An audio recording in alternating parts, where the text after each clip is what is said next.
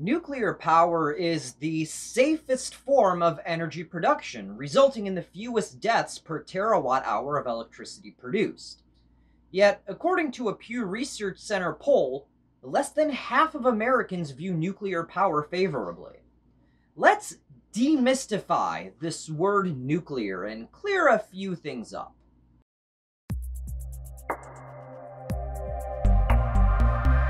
An atom is composed of three smaller particles. The nucleus contains the positively charged proton and the neutron, which has no charge. Orbiting around the nucleus are the negatively charged electrons. A neutral atom will have an equal number of protons, neutrons, and electrons.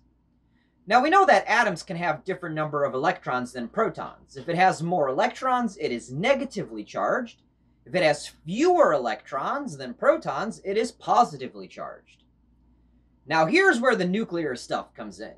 If an atom has a different number of neutrons than protons, it's an isotope. Many isotopes are stable. The strong nuclear force is what holds the nucleus of an atom together, and the strong nuclear force is the strongest of the fundamental forces.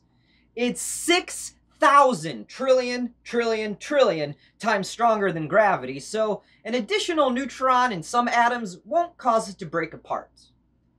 But then there are the times when atoms have a radioisotope, meaning they are unstable and radioactive.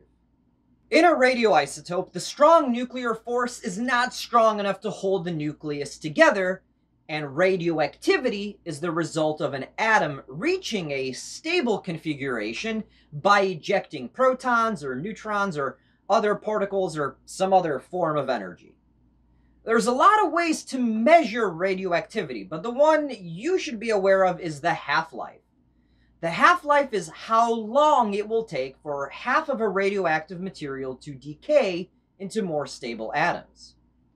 When a radioactive isotope decays, it releases energy and matter from the nucleus, and it will transform to a different element if the nucleus splits.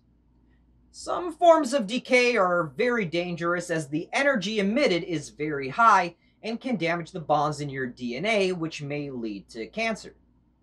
Isotopes with a short half-life decay faster, and therefore are more dangerous in the short term because they can emit more of this energy in a shorter time period. Uh, but the trade-off is that the entire substance decays to a stable, safe element faster. Elements with a long half-life will decay slower, thus releasing fewer harmful radioactive rays at any given time, but they will remain radioactive for a long time. And by long time, I mean like hundreds of millions of years.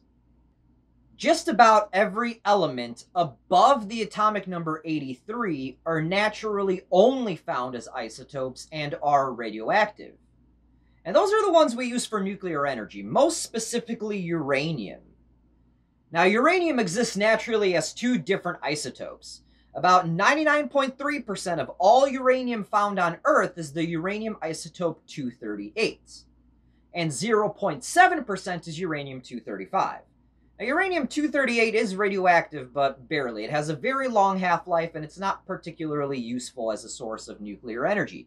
Uranium-235, on the other hand, is a less stable isotope and has a shorter half-life, but more importantly, uranium-235 can be fissioned, meaning the nucleus can be split.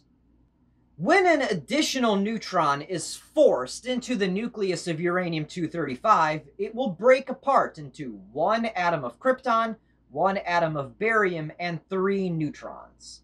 Now, those neutrons are important because as they hit other uranium atoms, it will cause them to break apart and release their neutrons, and so on and so forth.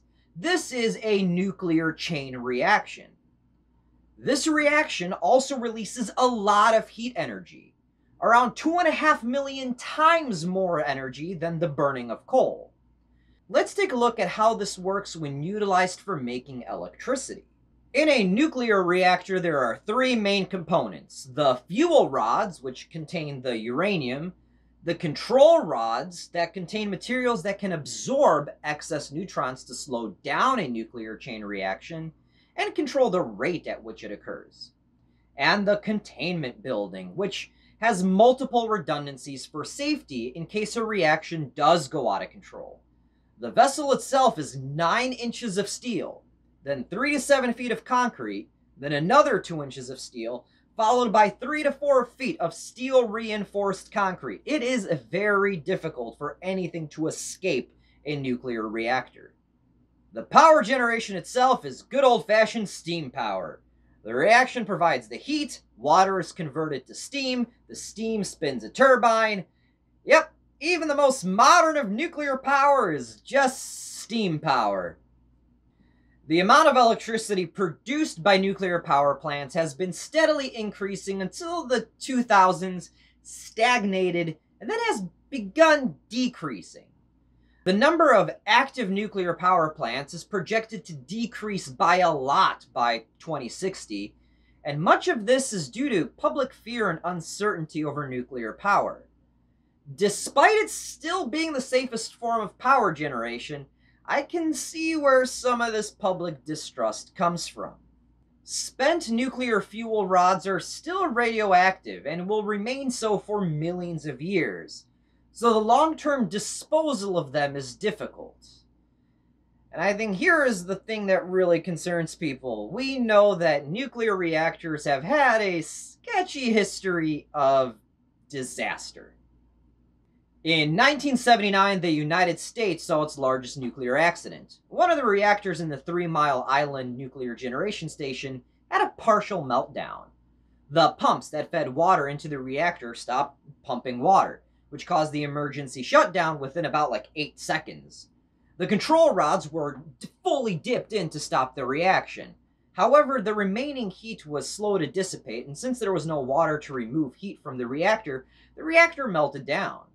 Now, studies done about the fallout showed no statistically significant increase in cancer rates. Cleanup of the area began in August 1979 and ended in 1993, and it cost us about a billion dollars. In 1986, the Chernobyl nuclear power plant in Ukraine experienced a meltdown. Ironically, the engineers there were testing a safety system to see well, what would happen in the case of a power outage to the water circulation pipes. Uh, nonetheless, the test was a spectacular failure, and the reactor experienced a steam explosion and subsequent fire that released radiation into the air for about nine days, and the fallout zone was pretty much most of Europe. This caused nearby rivers and groundwater to be contaminated with radiation. About four square miles of a nearby forest saw all the trees die. In the aftermath, 237 people had radiation sickness, of which 31 died. The current consensus from the UN is that the total death count as a result of this accident was about 4,000. In 2011, a tsunami knocked out the power supply to the cooling systems in the Fukushima nuclear power plant in Japan. This caused a series of explosions and meltdowns in four of their nuclear reactors. The resulting spread of radiation spread throughout pretty much half the planet through the air. The debate about the fallout of this disaster are still occurring, and the scientific consensus takes a long time to figure out. So to prevent any potential misinformation, I'll end my discussion of that disaster here. Now, there's a new type of nuclear reactor being developed that uses nuclear fusion rather than fission. Nuclear fission is the combining of atomic nuclei rather than splitting them. Well, this is the reaction that occurs in stars. The reaction releases much more energy, and the potential for this type of power is massive, as it doesn't produce any nuclear waste, but it is still in very early development, and we just barely broke even in the amount of power we can get out of this reaction. Who knew harnessing the power of stars might be difficult? Ironically, the engine in the case of a powder outlet. Ironically, the engineers there were tasting a tasting